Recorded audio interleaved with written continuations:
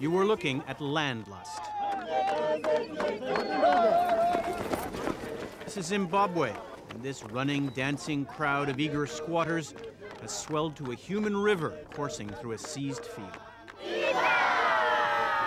Robert Gabriel Mugabe! It is Landlust driven and directed by supporters of President Robert Mugabe. Let's take the farms, let's seize the land, they sing.